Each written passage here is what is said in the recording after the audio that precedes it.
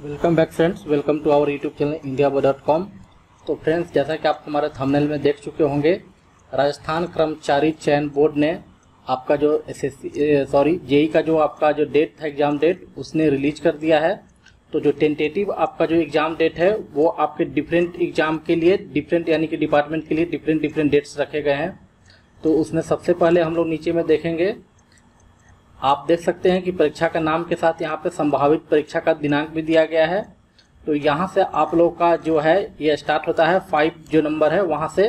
तो इसमें सार्वजनिक निर्माण विभाग, कनिष्ठ अभियंता, सिविल डिग्रीधारी के लिए और जो आपका जल संसाधन विभाग, कनिष्ठ अभियंता, सिविल डिग्रीधारी के लिए और जन स्वास्थ्य अभियंत्रण विभाग, कनिष्ठ अभियंता, सिविल डिग्रीधारी के लिए और राजस्थान राज्य कृषि विज्ञापन बोर्ड कनिष्ठ अभियंता सिविल डिग्रीधारी के लिए पाँच बारह दो हज़ार बीस को रखा गया है, यानी कि पाँच दिसंबर को आपका ये पेपर होगा।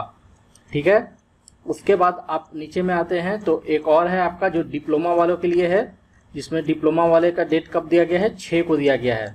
जो भी डिप्लोमा होल्डर होंगे, उसमें सार्वजनिक निर्माण विभाग हो, जल संसाधन विभाग हो, जल स्वास्थ्य विभाग हो, अभियंत्रण हो, या राजस्थान राज्य कृषि बोर्ड हो तो इनका जो पेपर होगा छः नंबर में आपका जो दिया गया है, ये आपका छः दिसंबर को होगा 2020 में। ठीक है? आगे आएँगे और देखेंगे हम लोग। अब जब हम बात करते हैं इलेक्ट्रिकल के लिए तो उसमें सार्वजनिक निर्माण विभाग, कनिष्ठ अभियंता जो कि डिग्रीधारी वाले हैं, और राज राजस्थान राज्य कृषि विज्ञापन बोर्ड कनिष्ठ अभियंता विद्युत डिग्रीधारी हैं। उनका जो पेपर होगा वो 26 को होगा। 26 बारह 2020 को। ठीक है? उसके बाद आठवां पॉइंट में हम लोग देखते हैं, ये है आपका डिप्लोमा वालों के लिए इलेक्ट्रिकल के लिए। तो जो आठवां पॉइंट है आपका, ये इसमें है राजस्थान कृषि विज्ञान बोर्ड के लिए आपका, और डिप्लोमा के धारक जो हैं, और उसके बाद सार्वजनिक निर्माण विभाग के लिए।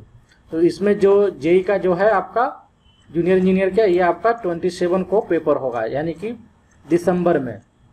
अब नाइन पॉइंट में है आपका यांत्रिक के लिए, यानी कि मैकेनिकल वालों का है।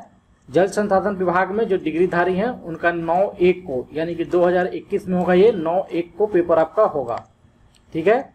उसके बाद जल संसाधन विभाग, कनिष्ठ अभियंता, यांत्रिक में डिप्लोमा धारिक वाले के लिए 10 को होगा। ठीक है?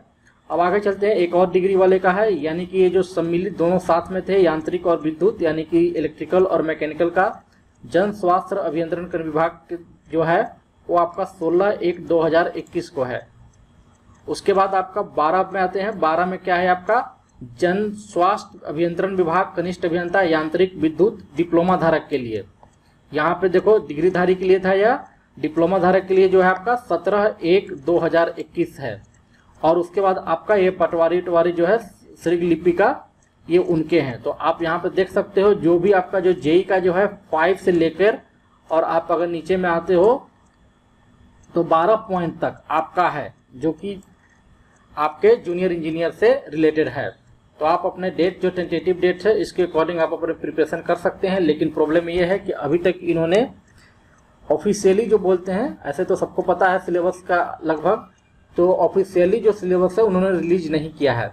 तो वीडियो को लाइक करें कमेंट करें शेयर करें। Thanks friend thanks for watching my video channel को ज़रूर सब्सक्राइब कर लें।